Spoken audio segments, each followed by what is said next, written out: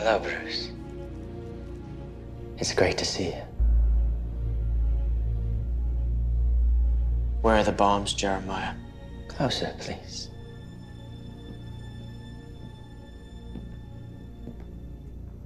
Closer. Tell me,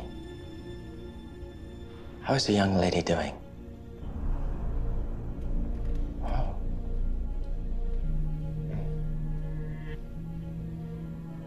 You know why we're destined to be best friends? Because we're very much alike.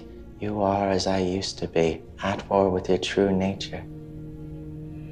You must truly embrace it if you ever want to be free. I'm just trying to help you. Trying to help me. By torturing Alfred? Trying to destroy Gotham by shooting Selina? You think we're alike because there's a darkness inside both of us. But the difference is, I know how to control mine.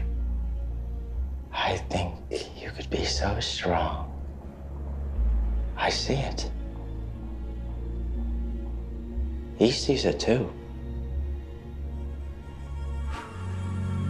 What do you mean, he? Ask him about the bombs. Where are the other bombs? What bombs? Bombs you planted around the city. You blew up the mayor. That bomb. Yes, that was the only one. But it did what it had to do.